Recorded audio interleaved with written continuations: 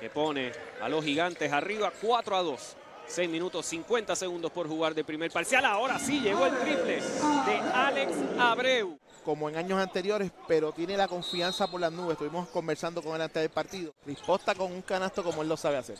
Le abrieron el mar, no pudo completar a Alex, pero tomó su propio rebote, lanzó y anotó.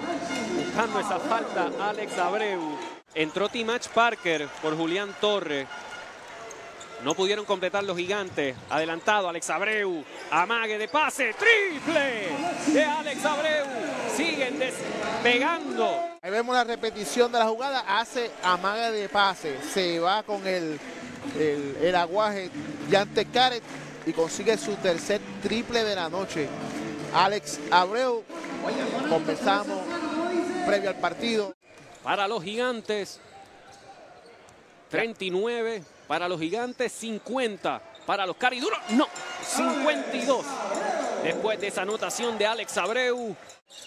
8 en el reloj de tiro. Rod, lo pensó Rod, se la dio a Alex. Alex de larga distancia, llegó el triple. Se acabó la sequía. Y aquí el tiempo que resta de juego va a ser bien importante. Abreu, penetración, anotación.